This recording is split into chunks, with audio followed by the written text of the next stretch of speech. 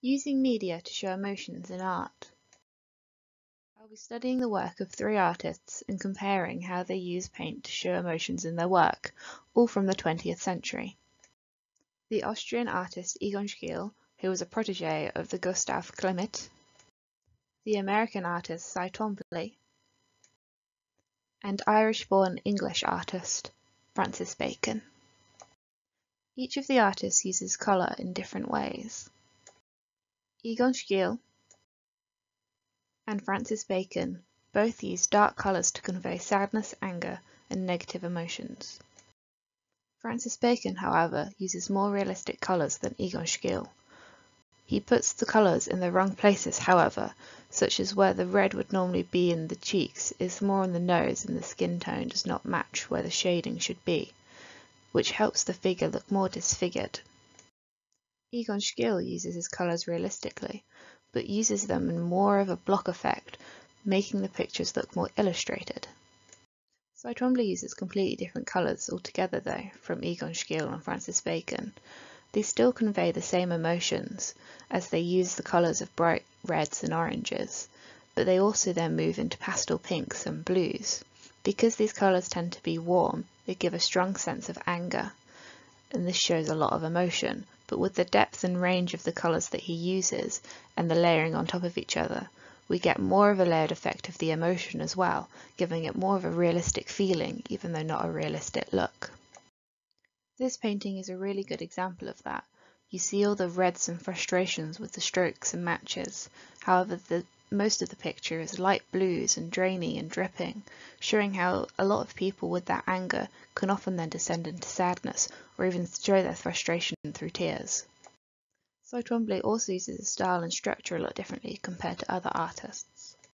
He has very abstract and energetic way of displaying the paint, which help him show that raw emotion instead of a standard facial expression.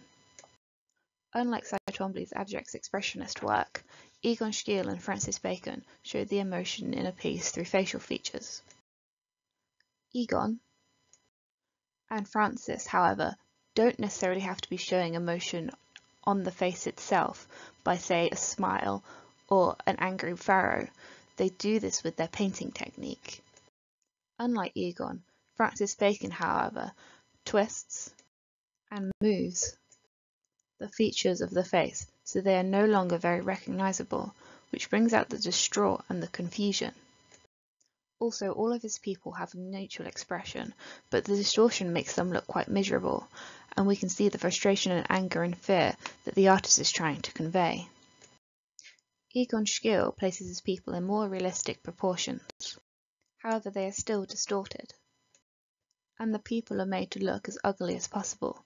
He has a more detailed illustrative style. He uses bold outline to bring out the details of the features in the faces and body, such as eye bags and wrinkles, which bring discomfort and misery to how they look.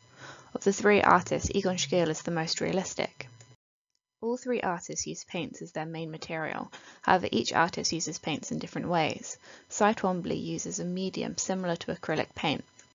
He creates very abstract pieces by aggressively and energetically applying the paint with a brush, which resembles the anger that he's trying to layer. By layering the different colours of paint, he shows the depth of our emotions and how irrational they are. He creates and builds up of anger with sadness afterwards. He creates the sadness in the piece by allowing the paint to drip down the canvas representing our tears or the rain. By doing this, he also allows the colours to run into each other, which makes it look more detailed. Egon Schiele creates detail differently. He uses black outlines to try and show every single feature. He then layers other medias of paint messily around to create texture and movement in the piece.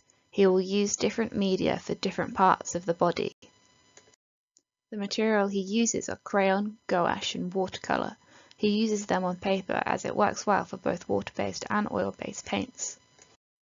Unlike Egon Schiele, Francis Bacon uses lots of shading blending and highlighting in his pieces.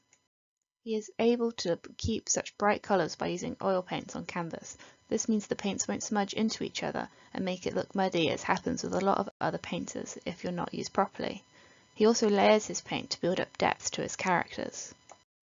So, What have we learned? We now know all three artists managed to convey strong emotion in different ways.